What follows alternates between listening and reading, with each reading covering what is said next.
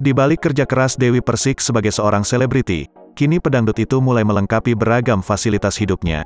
Salah satunya dengan membeli mobil mewah sesuai dengan yang diperlukan oleh Dewi Persik.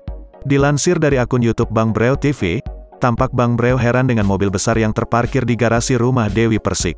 Dikatakan Dewi Persik bahwa mobil tersebut biasa ia gunakan saat berpergian dengan keluarganya. Lantas Bang Breo penasaran dengan harga mobil mewah Dewi Persik itu. Dewi Persik lantas mengaku bahwa mobil hitam miliknya itu murah.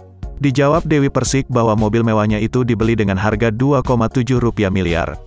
Dewi Persik lantas menjelaskan beragam perlengkapan yang ada di mobil mewahnya itu. Di antaranya adalah toilet di dalam mobil hingga memiliki kursi pijat. Tak hanya itu, di dalam mobil Dewi Persik itu juga disediakan layar TV besar untuk menonton. Bahkan tersedia juga tempat karaoke di dalam mobil Dewi Persik. Bang Breo lantas mencoba kursi pijat di di mobil Dewi Persik.